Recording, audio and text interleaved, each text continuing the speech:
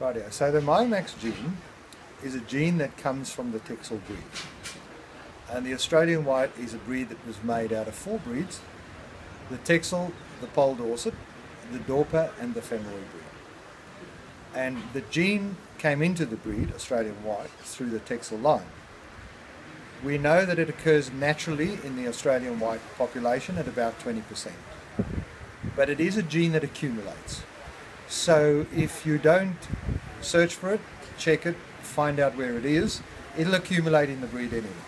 And eventually the animals will all become like Texels and have double copies. And they will be called full Myomax animals and they will all carry the gene. Now the gene is associated with extra growth, extra carcass yield, extra muscle in the loin, extra muscle in the rump, some effect in the shanks we're seeing a better effect in Australian white in the shanks than even we thought we would. So all those things are positive because they come for free. So once you've got the gene, it's the same amount of grass they're eating, the same amount of tucker they go through, but at the end of the day, they end up with this extra yield.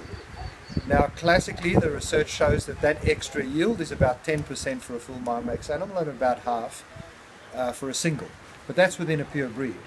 In crossbreeding, the effects vary quite a bit, uh, depending on the ewes that they started with and how much muscle their original flock have.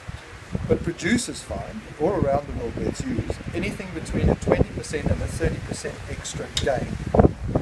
So today you heard some Samata say 30% is the common experience. Some of our own uh, buyers here that have been using Australian whites for a while that have bought Myomax animals are getting 20% around there.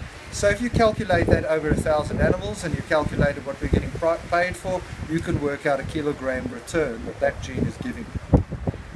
However, the gene also has a slight association with reduced fat in carcasses in Texels in other breeds. In this breed, our performance data that we're doing so far is not really recording significant fat reduction, which in a self-replacing breed like ours, designed for more western areas, is a good thing. We don't want to lose too much fat in the process. But we can only judge this over a period of time that we've been doing is three generations, five sales. So, and all the animals that have been tested in, in that gap. So, so far we can't pick it up. The laboratories can't pick it up. We have another big independent service company um, that is an agricultural research company.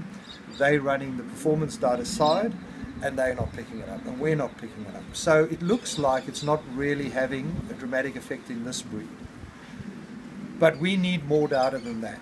So over a period of three to five years, between the geneticist, companies, Zoetis, and the performance recording company interfacing with one each other, we'll get a proper computer-generated picture of the breed, running it in three families. So running it in a family that carries one copy, no copies, and double copies. We'll be able to tell exactly how much increase in muscle and weight there is, how much the effect is on fat, and have a very pretty clear picture.